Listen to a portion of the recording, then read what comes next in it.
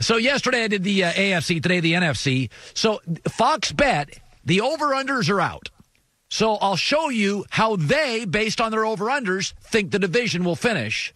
And I've already given you my over-unders, the, the records I think teams will have. So here we go. Let's start with the NFC East. Fox Bet believes Dallas and Philadelphia tie for the division, then New York and Washington. I think Philadelphia wins the division. Dallas lost too many people from their leading sack maker to their best corner uh, to um, Travis Frederick, a Hall of Fame center, to Randall Cobb and a new coach. So I, I think there's only one playoff team, in my opinion, uh, in that division, and it's the Philadelphia Eagles. And, frankly, uh, I think the Giants could be a little bit of a tire fire because uh, they have a new coach, new coordinators. Uh, and I just, I just, I just don't know if Joe Judge can coach. But I got Philadelphia winning, Dallas, New York, Washington, non-playoff teams. Okay, uh, Fox Bet thinks the Green Bay Packers win their division, Minnesota second, Chicago third, Detroit fourth. Uh, I think Minnesota had a better roster last year and got significantly better in the draft. I think Minnesota drafts really, really well. Um, Justin Jefferson, slot wide receiver, Jeff Gladney, um, Ezra Cleveland, uh, a left tackle.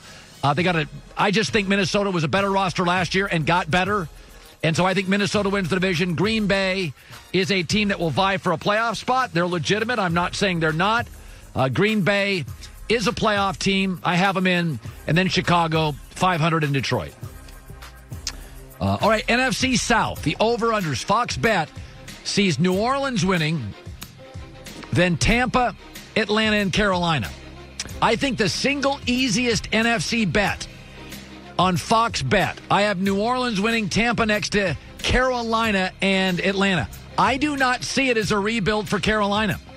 I think Carolina is a 500 team. Their over under is five and a half. I think it's the easiest NFC win.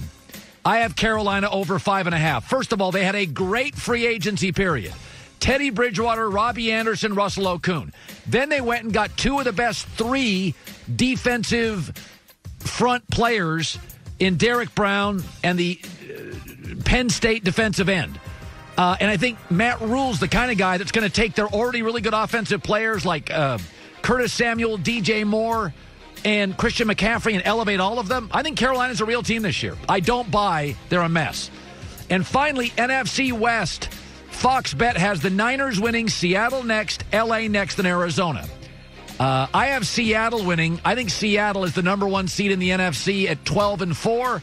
Uh, I think they added a top corner in Quinton Dunbar, Greg Olsen, uh, Bruce Irvin, and to be honest with you, like their defensive draft, and if it was not for running backs getting hurt last year, I think they beat Green Bay and give. They were really a good team and give San Francisco fits. Um, I think San Francisco has a little Super Bowl hangover early in the year, but is good. Then LA. I think LA's just had too many losses, too many new coordinators, too many new coaches, too too too much movement, and I don't think they're very deep. And then Arizona's interesting, but they rounded out. So my playoff teams, there'll be seven. Will be Seattle, Philadelphia, New Orleans, and Minnesota win their division. Then the Niners, Tampa Bay, and Green Bay. I don't like Dallas as much as Fox bet. That's about it. Hi, everybody. Thanks for watching. Subscribe here to get the latest from the show. Also, be sure to check out more of the best clips from The Herd or go watch a few segments from other shows on FS1.